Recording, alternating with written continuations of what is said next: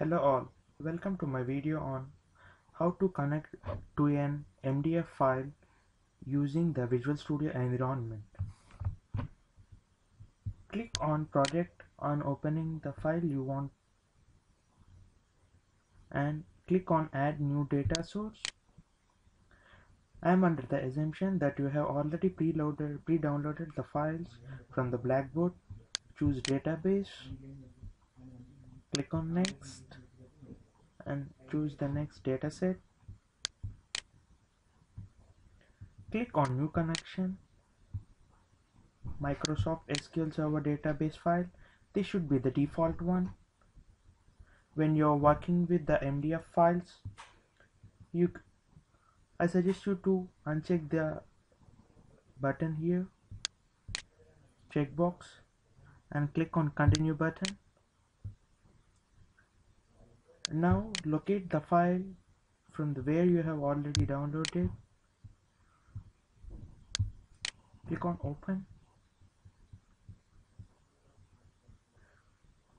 To ensure that the connection works you just make a text connection.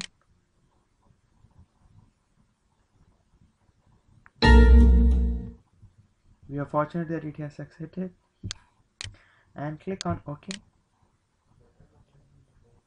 now click on next button. Your MDF file is ready to use. We can you can see already the MDF has been added to the solution explorer and before retrieving the database information you should have an idea of what information should use the dataset for like it will be having the tables views and the stored procedures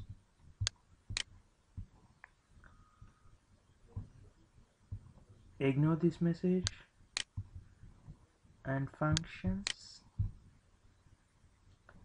So uh, our programs make use of almost all the sources present here. The stored procedures uses procedures everything like that. So click on finish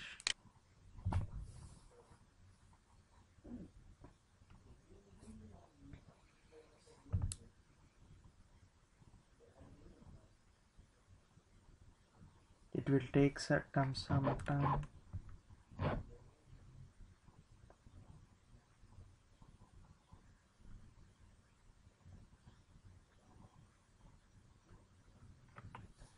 Before proceeding to run the program let's initially check whether our connection was successful or not.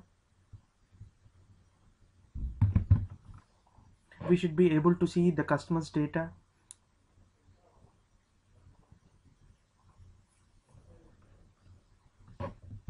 no data is coming. So there is some issue I guess.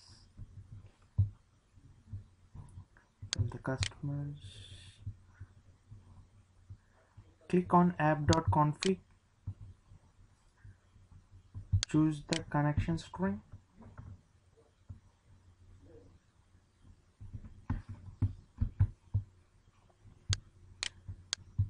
Come to the get database connection method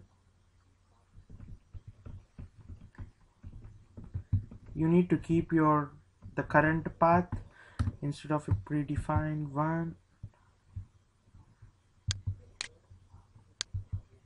I would suggest you adding a prefix with at the rate symbol so that it would ignore any of the slashes. Now let's check where whether our program works or not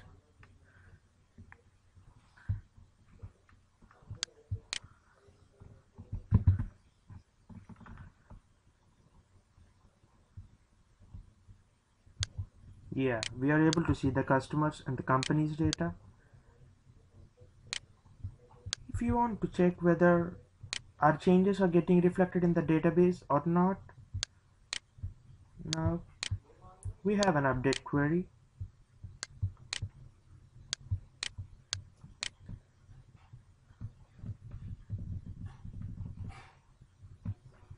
Yeah let's take some name like I'm not sure. There's some customer name with Harry. And I'd like to update it with Mukesh. And now you can control F5 to run the program again. And let's see whether the rows are getting updated or not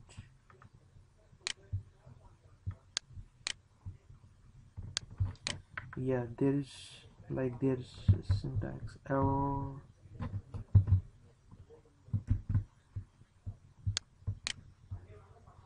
you can see the zero rows has been written like here the cmd will execute non-query is returning the number of rows that are updated. Now let's run our program again and see whether the update operation is successful or not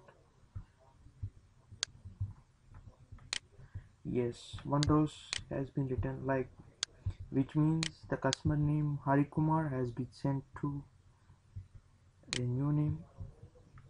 Okay yes we can see it here. That's it.